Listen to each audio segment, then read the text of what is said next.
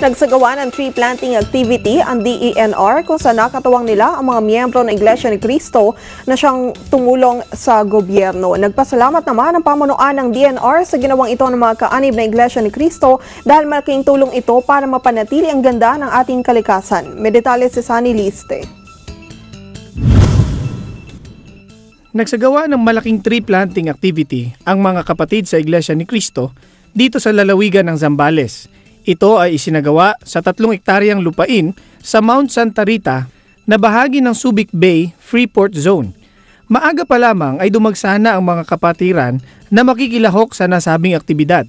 Sa kabila ng masungit na panahon, ay hindi sila napigilan sa isa sa gawa nilang proyekto.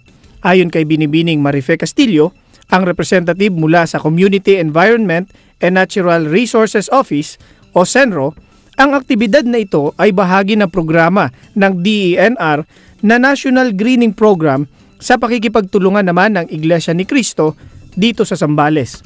Ayon pa sa kanya, 2,500 saplings ng kupang at dao at dalawang uri ng mga fast-growing trees ang itinanim ngayong araw na isa sa pinakamaraming punong na itanim nila mula nang simulan ang nasabing proyekto noong 2011. Pinuri naman ni Forester Patrick Escusa, Division Chief ng SBMA Ecology Center, ang nasabing activity.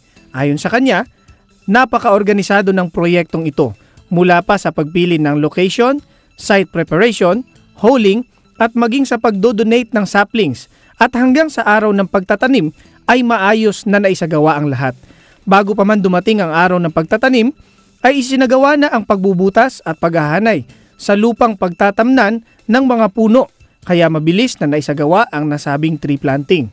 Mahigit sa 1,600 na kaanib ng Iglesia ni Cristo ang nakilahok sa nasabing proyekto kasama ang ilang mga volunteer na katutubong AITA na tumulong sa pagsasaayos ng pagtataniman. Sa Liste, Eagle News. I am one with 25.